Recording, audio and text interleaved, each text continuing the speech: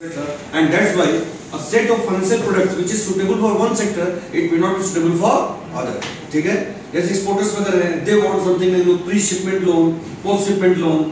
agriculture agriculture sector उसमें जो reforms वगैरह चाहिए उस उसकी जो फाइनेंस उसका रिक्वायरमेंट उतना अलग हो सकता है so different sectors they have their own set of their own set of challenges and the problems as well as opportunities and accordingly products are required to be designed next